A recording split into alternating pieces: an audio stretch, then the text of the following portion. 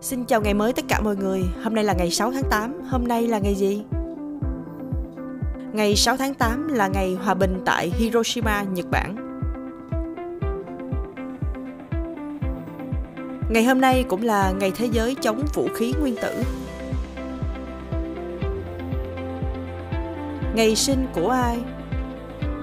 Ngày 6 tháng 8 năm 1698 là ngày sinh của Nader Shah, vị vua đã trị vì Ba Tư từ năm 1736 đến năm 1747.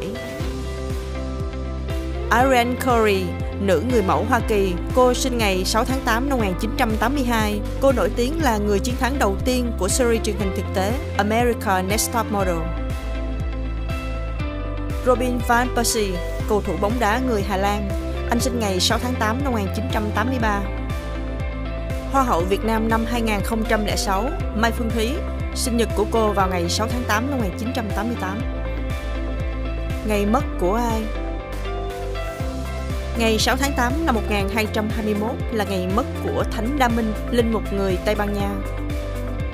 Sự kiện Ngày 6 tháng 8 năm 1538, nhà chinh phục Gonzalo Jiménez de Quesada thành lập thành phố Nuestra Senora de la Esperanza, tức Bogota, thủ đô Colombia ngày nay.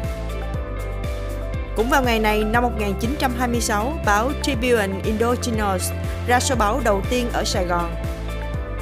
Hoa Kỳ ném bom nguyên tử xuống Hiroshima vào ngày 6 tháng 8 năm 1945. Cũng vào ngày này năm 1996, NASA thông báo rằng thiên thạch ALH 84001 được cho là có nguồn gốc từ sao hỏa, chứa bằng chứng về các dạng sống nguyên thủy. Ngày 6 tháng 8 năm 2012, tàu thám hiểm Curiosity của NASA hạ cánh trên bề mặt sao hỏa. Xin chào tạm biệt mọi người, chúc mọi người một ngày mới thật vui vẻ. Hẹn gặp lại mọi người vào lúc 7 giờ sáng mai tại Week TV.